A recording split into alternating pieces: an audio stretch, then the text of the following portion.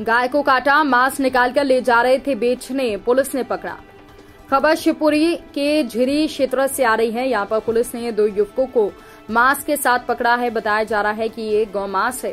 फ़िलहाल पुलिस ने आरोपियों को पकड़कर जब्त किए गए मांस को जाँच के लिए भेज दिया है, जिससे पता चल सके कि ये मांस किसका है।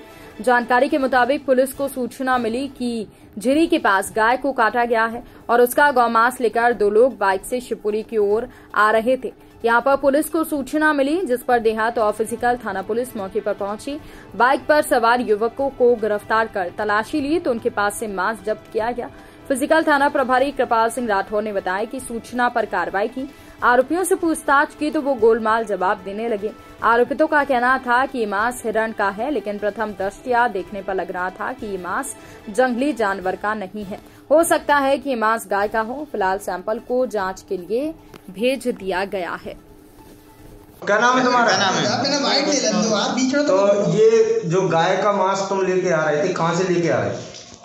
जी सर हमको नहीं पता गाय का किसका है। तो कौन ने दिया था तुम्हें? साकिब ने दिया। कहाँ पहुँचाने के लिए दिया था? तो उसने दिया था कि जेसीबी ले जाना है। शिवपुरी किसके पास ले जाने के लिए बोला? यार हम तो कोई ये नहीं जानते। नहीं तो शिवपुरी किसके लिए ले- देने आए थे आप? वो उधर रहते हैं। कौन कौन कौन? एड्रेस तो होगा कोई ऐसी आ गया कहाँ किसको देने के लिए बोला था?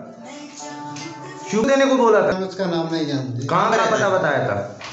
पता क्या बताया था? एड्रेस भी नहीं जानते हम। कहाँ तब बताया था किसको देने आ रहे थे तुम? कहाँ पे देते पर कैसे देते और? अब वही फ़ोन लगाए थे साकिर के वो आ जाएँगे तुम बता देना मैं बैठा है। अच्छा। फ़ोन नंबर तो होगा ना तेरे पास? उसका फ़ोन नंबर होगा ना? उसका फ़ोन नंबर बताया होगा कि। जब पहुँच के सूचना कर देना। जिसको फ़ोन जो जिसके पास जाने वाले थे तुम उसका नंबर होगा तुम्हारे पास। तीन हो रहे हैं इनके साथ में तीन। बोल दिया बोल दिया कितनी है तुम्हारे साथ लोग? तीन हो रहे हैं तीन। स्थिति क्या है अभी?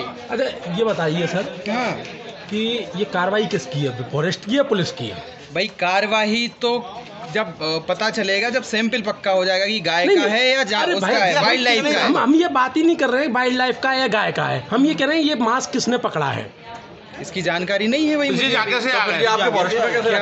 फॉरेस्ट की फॉरेस्ट की चौकी में कैसे रखा है? चौकी में तो रखा है? फॉरेस्ट की चौकी में कैसे रखा है फिर भाई इंटर कोऑर्डिनेशन से चल रहा है कुछ। अभी क्लियर होगी पिक्चर अच्छा। नहीं तो यहाँ जब फॉरेस्ट चौकी में मामला आया है तो सौ परसेंट फॉरेस्ट नहीं पकड़ा होगा ना? आपकी चौकी में कैसे आ गया मामला? भाई जब हम कोई चीज़ पकड़ते हैं पुलिस को देते हैं। अच्छा आपको ये नहीं मालूम कि आपके पुलिस स्टाफ ने पकड़ती है पुलिस पकड़ती है तो हमको भी देती है। ऐसा होता है कि नहीं होता? नहीं। क्यों? तो जब आप- हमने पकड़ा तो, पुलिस केस तो बनाएँगे। पुलिस ने पकड़ के आपको दिया है?